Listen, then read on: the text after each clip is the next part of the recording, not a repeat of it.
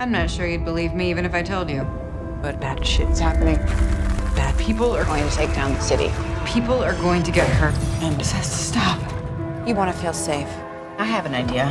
Why don't you put on a cape and go run around New York? At the end of the second season of Daredevil, Matt is kind of lost. He's given up being this superhero. Matthew, this other life you led, is your heart still with it? But deep down, he genuinely believes the city is better off with him.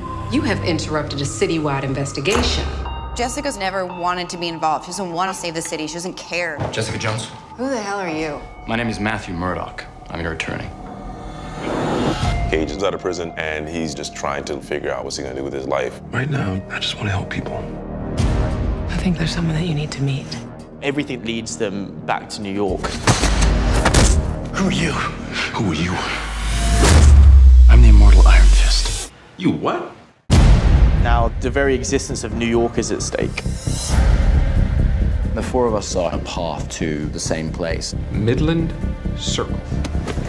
Murdock. I need to leave now.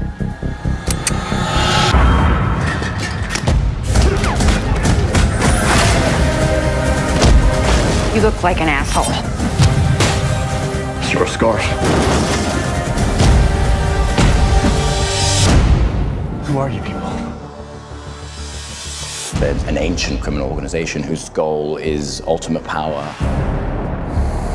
I can't be a part of this. If you ask me, you already are. These people are incredibly dangerous. They're incredibly evil. It's clear to them that the only chance they have of saving New York is going to be if they work together. You four, the devil of Hell's Kitchen, the smartass detective, the righteous ex-con, and the kid with a glowing fist. Seeing all four of these characters together is epic.